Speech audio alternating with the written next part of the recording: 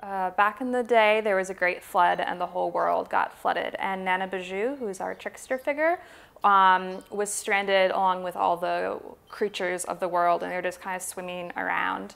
Uh, and Nana Bijou uh, said to some of the creatures, I think there's earth down below. We just need to dive down to the bottom of the water and get um, some dirt, and then we can make a new earth. He asked Beaver to dive down. Beaver dove down and was gone for days and finally arose and, and said, I can't get down there. There's, it's too deep. There's no way I can get down there. So then uh, Loon tried next, and Loon was also gone, but even longer than Beaver this time. And Loon also came back up and said, I can't get anything. It's too deep. No one can do anything. Uh, and then Muskrat said, I'll try. And everyone was like, Muskrat, you can't do it. You're too weak. This is a job for like a real um, water animal. And Muskrat kept insisting, no, I want to try uh, to, to dive down and get it. So they're like, okay, fine. And so Muskrat dove down and was gone for even longer than everyone else to the point where all the creatures thought that Muskrat had died and was just never going to come back. And so they were starting to try to come up with a new plan of what to do since there's no earth for them to be on. They're just still stuck in the water. And then finally, Muskrat arose from the water. And in some versions of the tale, he's dead, and in other versions, he's just unconscious, but his fist is curled up, and they uncurl the fist and find dirt um, within his fist. Uh, and so they take the dirt and they put it on Turtle's back, and that is um, what then became North America or Turtle Island.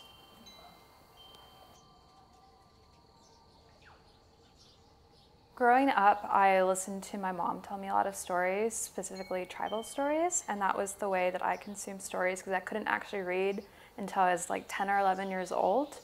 Um, but I have always loved stories, even though I didn't like reading or books as a general concept, just because I couldn't read myself.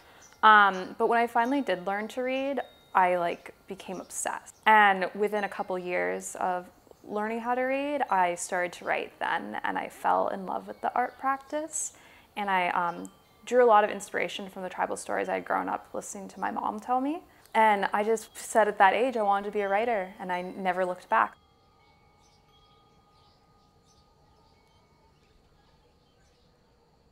Uh, the title is The Wendigo Within, mm-hmm. um, which the Wendigo is a mythological uh, creature in my tribe. It's a cannibal creature that's known for, uh, a winter cannibal that's known for enticing people to turn to cannibalism and betray their kinfolk.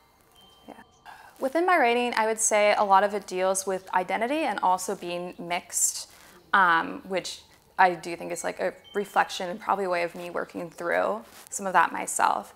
As well as um, a lot of my work lately has been dealing with like sexuality or just like femininity and like being in a female body and experiencing like sex and pleasure and that sort of thing.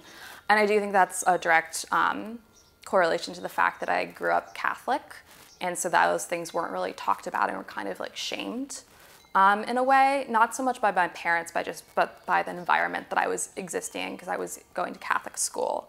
So there was an element of you shouldn't be feeling like sexual desires or pleasure, that sort of thing.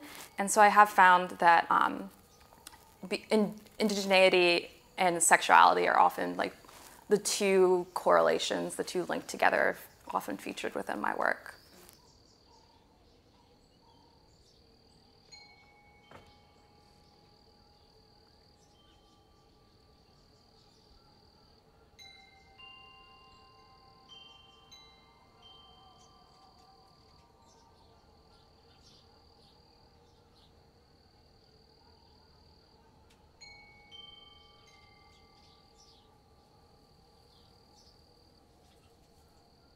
My schedule has basically been I write in the morning and then I'm beading in the evenings. And so I have made probably about 12 pairs of earrings and I also beaded a baseball cap while I was here.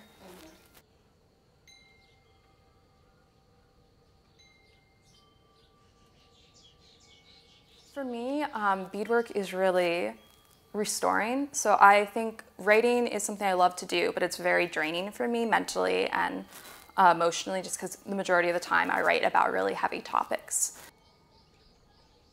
Um, and with beadwork, I feel like I'm restoring my mental health and I'm just creating something beautiful.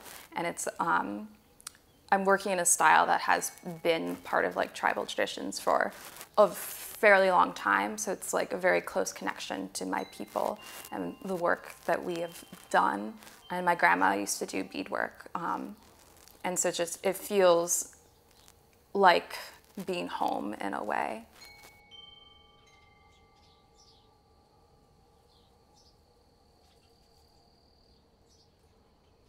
Hambidge has really given me the ability to like just hone in and focus on just creative processes instead of being distracted by the outside world.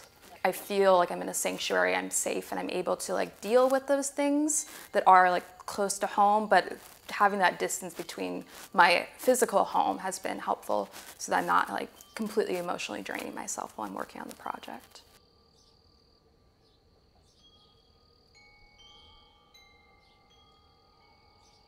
I'm Amber Blaeser-Wardzala. I'm a Anishinaabe from White Earth Nation. I'm a writer and beadwork artist.